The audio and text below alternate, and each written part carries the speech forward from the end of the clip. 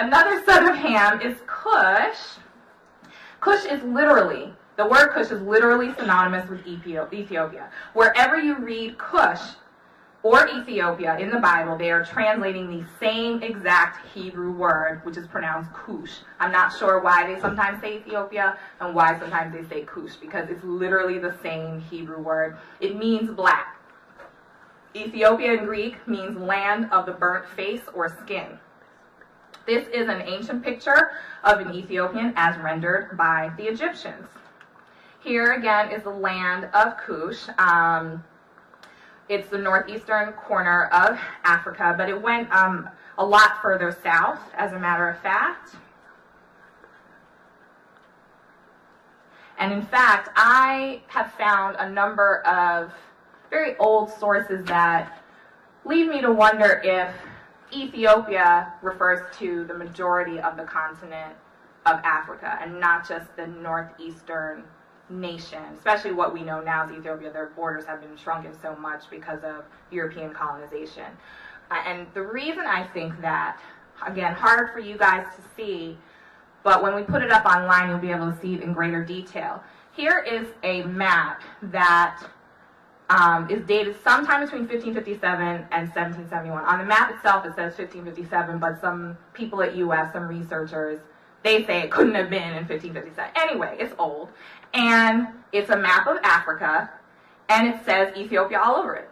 There's lower Ethiopia, there's upper Ethiopia, um, the whole continent pretty much, uh, certainly everything below the Sahara is referred to as Ethiopia. Okay. And here is another one. Dated 1683.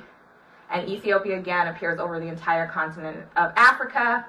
And the ocean itself is referred to as the Ethiopian Ocean. And I found many maps from the 1500s, 1600s, 1700s, where the Atlantic and sometimes, you know, uh, that southern, whatever the southern ocean right at the tip of Africa, is called the Ethiopian Ocean. So look it up on your own. But I think it's interesting because we know the first King James Bible was published when? 1611. And it says Ethiopia. Were they referring to a nation, Ethiopia? Were they referring to the entire continent? I don't know. It's just something to think about. And when you're reading scriptures, try and see uh, which are they referring to. Ethiopia may be a lot more than uh, we realize. Okay. I think it's important to talk about Cush or Ethiopia's lineage. In Genesis chapter 10, verses 8 through 10, it says, Cush begot Nimrod. He began to be a mighty one of the earth. He was a mighty hunter before Yah, and the beginning of his kingdom was Babel, Erech, Akkad, and Calneh in the land of Shinar. Let me pause here because I don't know who's listening online. Here at Yasharun, we do use the name of the Most High. So in the scriptures where you see Lord, we put back the name that was taken out and we actually use his name. So we'll say Yahuwah or we'll say Yah for short. All right. And then uh, just continue on in Genesis chapter 10. It says, From that he went to Assyria and built Nineveh, Rehoboth, Ir, Calah, and Resen between Nineveh and Calah. That is the principal city. We see here a descendant of Cush, the Ethiopians, going out and establishing all of these cities. It's a major um, emperor, if you want to think of it that way. And let me just point out a few of these words. Babel is just another word for Babylon. So Nimrod actually established the city we call um, Babylon. He also established Assyria and Nineveh, and we're going to see um, a picture of Nineveh very soon. Akkad is the root language of ancient Babylon and Assyria, Akkadian. And the prophet Micah later uses the same Nimrod to describe the region of Assyria. So I, I, want you to make connections when you're reading the word. When you see Babylon, think Nimrod, a black man. When you see Assyria, think Nimrod, a black man. Even when you see Nineveh, think Nimrod, a black man. Okay? I want you to get out of this Middle Eastern idea these places, though they are now called the Middle East and occupied by different people, understand that they were established by black people. Okay? Um, another thing, even the even the um, scholars say that Babylon was the first time in history that humankind channeled its energies towards addressing the needs of the community as a whole. In other words, this is the first time you see cities emerging and empires emerging and people working together to irrigate the land and really do grand scale um, agriculture. So after the flood, uh, Ham's descendants were kind of like really doing some stuff. All right. Can I say that in assembly doing some stuff? All right. Here is an artist depiction of ancient Babylon. This was actually at the time of Nebuchadnezzar, so it was, you know, well after Nimrod established it. But you see, um, it's quite a grand uh, city. This is another uh, depiction of Nineveh. Again, I mean, it almost looks like a modern city. I mean, some of the the buildings you see, like I don't know, Supreme Court of the United States or something like that. It's it's very grand. So this is, you know, these are the cities that Nimrod um, established. Here's Calah, which you know, until I did the study, I hadn't heard of. Again, just absolutely gorgeous. It reminds me a bit of Egyptian um, architecture, very decorative. And here are some depictions of Nimrod himself. I always say his beard looks like he has Senegalese twists in it. Um, in some other places, it might it might look like locks, but um, again, things that we do quite well with our hair.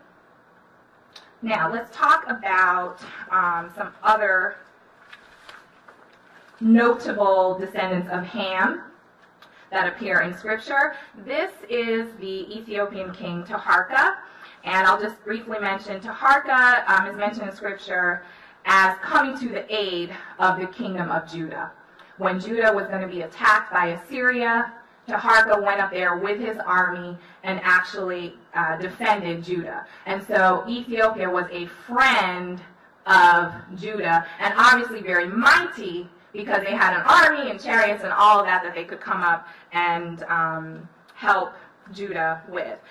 Uh, history does record Taharka as being a great warrior he also reigned not only in Ethiopia, but he reigned in Egypt as well. Under him, the two kingdoms were unified. So it's sad that, at least in, I don't know if the, the young ones today learn about people like that, but I certainly know that when I was growing up, I had never heard of Taharka, didn't know who he was, but for somebody to be reigning over Egypt and Ethiopia and having chariots at this time, um, he, he's a notable um, person that we should become more familiar with.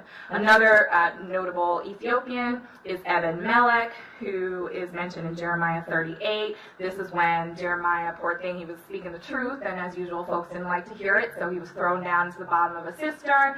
And Ebed Melech was the one who devised a plan to, uh, you know, tie up flocked together and rescue Jeremiah and pulled him up from that cistern. But what's pretty cool is if you read Jeremiah 38 verse 7, it says Ebed Melech was an official in the royal palace. So um, his name literally means servant of the king, but we know he was an official. So think of him as, you know, I don't know, Secretary of State or maybe a cabinet member or somebody who actually held office within the kingdom of Judah. And he obviously had a um, kind heart towards the prophet of the Most High. And then, this isn't conclusive, but the prophet Zephaniah, in Zephaniah uh, chapter 1, verse 1, it says, The word of Yah which came unto Zephaniah, the son of Cushi. Well, uh, we've heard that word before, Cush, and Cushi means their blackness, or my blackness. So I'm just wondering, because you know we all know that he in Hebrew, the words in the Bible all, or the names in the Bible all meant something. They didn't just name, you know, like my name. To me, I'm sure it has a name somewhere or a meaning somewhere, but all their names meant something. So here, his meant my blackness.